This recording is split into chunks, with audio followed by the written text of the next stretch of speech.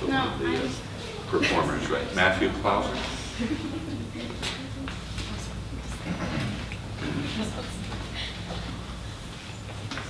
Sorry, I have, I have one prepared.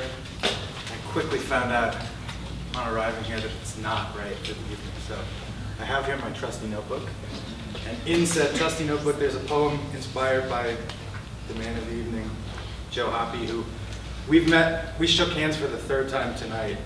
Um, We met very briefly, and as life sort of sneaks into poems sometimes. So if you like it, pat yourself on the back. If not, blame Professor Herndon because I've been taking his classes. uh, it, I've got a couple short ones after that as well. Uh, it's called After No One. Which begs the question if that bell tolling for no one can be answered. Where one wonders if prodigal and edible, Oedipal aren't just equally indifferent. And continues thus and so, a teetering horse mounted with snot, the bow breaking his brush.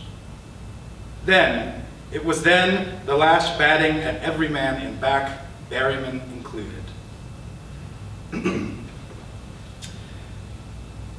This is to the college student who, after blowing his snot into a paper towel, used the same paper towel as a germ guard on the door handle. you cannot run from yourself. You cannot hide. Wherever you go, there you are. And the last one is a poem called Akathisia. For those who don't know, akathisia is a sort of kind of uh, allergic reaction to medication. Uh, the first thought is that things appear as they must for a potato peering out of the thick rubber tire where it was planted by someone desperately hungry.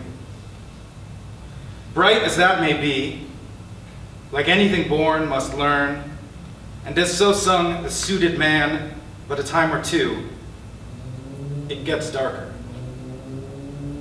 It is a tremulous thing, a tropical chill, the shuffling of bones and the shriveling. The bladder stings exquisite in the driest dream. But what can you do with life?